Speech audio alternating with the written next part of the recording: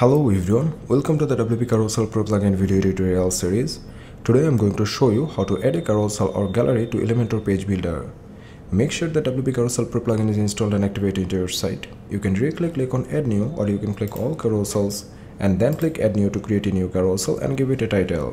Do the necessary customizations as you like using the configuration tabs. I'm going to keep it as simple, just adding a few images to create image carousel Publish the shortcode and go to a page where you want to display it. As my goal is to show you how to add a WP Carousel Pro shortcode to Elementor, so I have installed and activated the Elementor page builder and I am gonna click on edit with Elementor.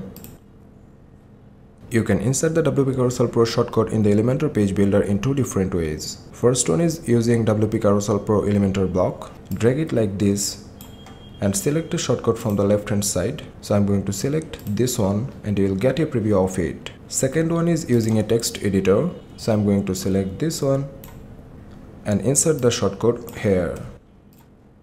Suppose you want to display this shortcode, so copy the shortcode from here and paste it.